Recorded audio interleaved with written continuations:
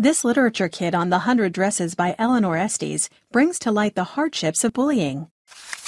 Offer a unique viewpoint on the hardships, perseverance, and acceptance experienced by a young girl. Bring to the forefront topics for discussion about treating each other in a kindly manner. 55 pages chocked full of before you read worksheets for each chapter section, along with vocabulary prompts to prepare your students for the reading, with rubrics, teacher guide, and author biography.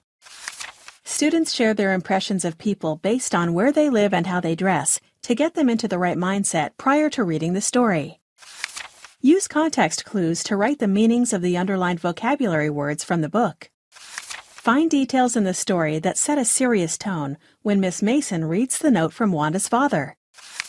Predict how Wanda might react to Peggy and Maddie's visit after she moved. Six additional writing tasks follow.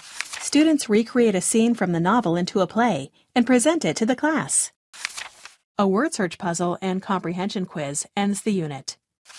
The easy marking answer key works by lining up perfectly with the matching question pages.